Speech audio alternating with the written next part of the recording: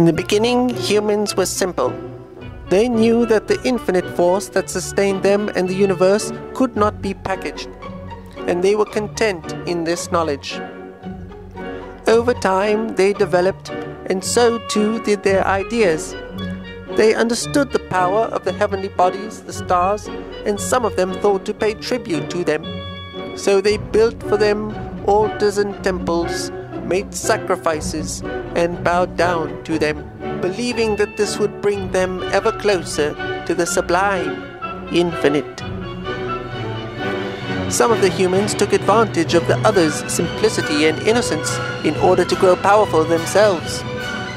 They invented lies about the stars they worshipped and gave the stars shapes that would make them easier for the others to relate to. They even legislated laws supposedly given to them by the stars themselves. Eventually, the humans completely forgot the essence of their being. Some of them fell to worship the very stones on which they stood. Others worshipped trees and other plants. Some worshipped animals or even other humans. A few of them even worshipped themselves. Since ancient times, many have abandoned their idols. But even to this day, very few have truly abandoned idol worship.